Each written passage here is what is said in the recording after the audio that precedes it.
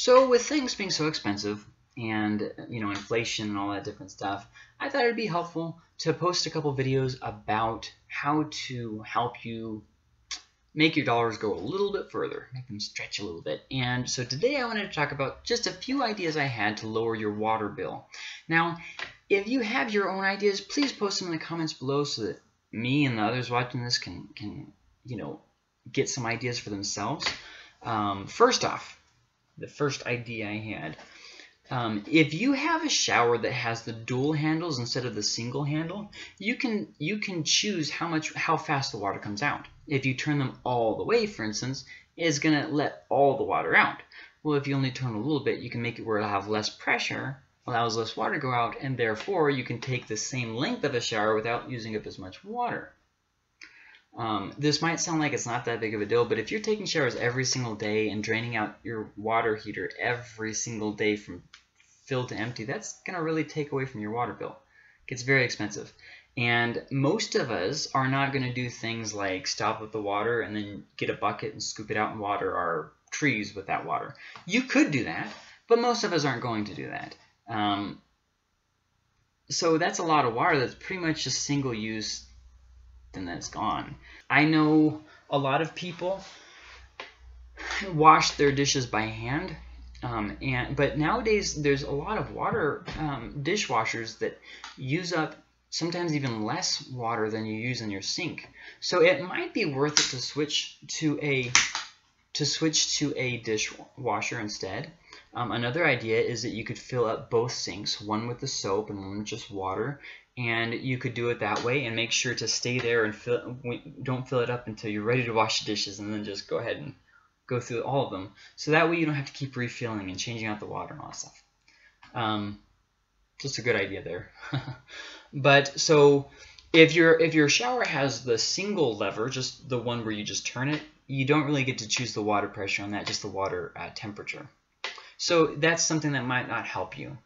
Um, another idea is you can uh, turn off your shower when you are ready to lather. Now this can be a little bit difficult, but it's you can do it where you can use up only a minute or two of water. It's difficult, but it's doable. First thing you get in, you, you turn on the water. Um, you, you can't preheat the water. That's kind of a trick there. So you turn on the water, you get as you get wet, you rub it in as, as fast as you can. Make sure to get your soap and wet it. That's the first mistake that we all make. Turn off your water, and then you'll be able to lather it and do it like that. Now, I use um, shampoo bars, which are like soap, but you use them on your hair. So I have to remember to get my bars wet at the beginning, but this can really help lower your lower your water bill because um, you're not using as much water. Um, another thing is you can take a shower with your spouse, kind of change your change your schedule a little bit where you can do it at the same time and you guys can just switch positions or whatever. And that helps, you know, because just the shower at one time rather than two times. Um, another idea is you can all have like a shower day if you have a large family. Uh, especially this works this works a lot better if your kids are younger. If they're older, it doesn't work so great. Um, so basically, the idea is you take your shower, plug the drain, take your shower, don't don't pee in the bath. And then you get out and then your kids go in and they take a bath and, and so that way you don't have to fill the bath up twice. Um, that doesn't really work after your kids are like i don't know like eight or nine it stops working. But before then it, it works okay uh, like for two or three year olds. Another idea that i had is you can time your showers. So basically you put like um, five minutes on, on your phone and then the alarm will go off in five minutes and once it's time, you just you get out. Um, it kind of become you can even turn it to kind of like a game. You're like, gotta, gotta wash up as fast as you can. And if you beat the timer, you get to, you know, actually enjoy some of the water before you have to turn it off.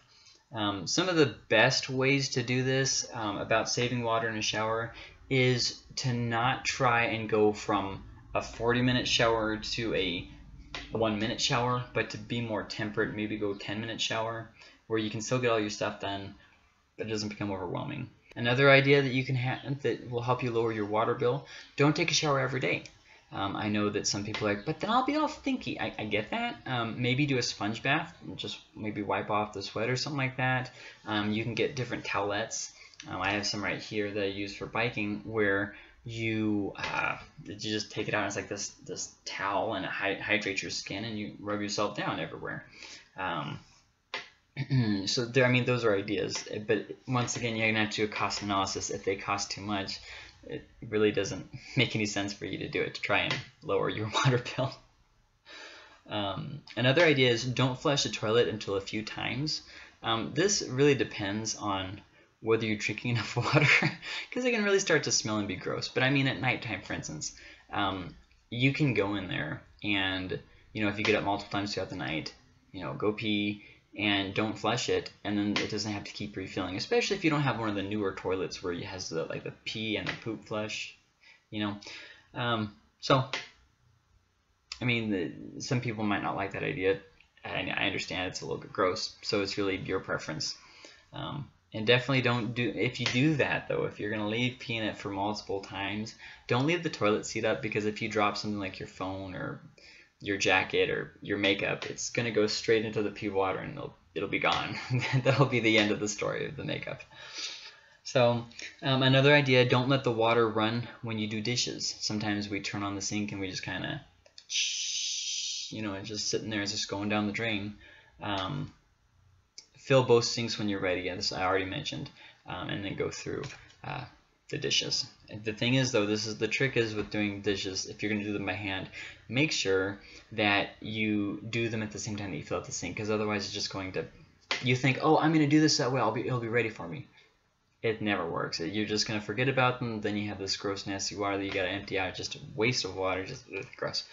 Um, Another idea that I had is only do laundry on one day. So sometimes we kind of have this running thing where we have laundry going all the time, but then it just adds up to having more work to do. Um, sorry. But then it just kind of adds up to having more work to do. And it, you always have this unfinished feeling and just like, ugh, and then you forget about it and you have to run it through again because it was left in the washer and you forgot to dry it and then uh, there's that and then it takes up a lot of a lot of time and it seems like you do laundry more often so if you instead limit it to just one day um, it's a lot more manageable and it feels like it's not so big of a deal so just some ideas there um, once again if you have any idea, any other ideas that you have to help lower the water bill, uh, please post them in the comments below. Um, I'll try to have another video about you know tips to try and save maybe just a couple bucks here or there, and uh, we'll see where that gets us. But uh, you guys have a great rest of your uh, day.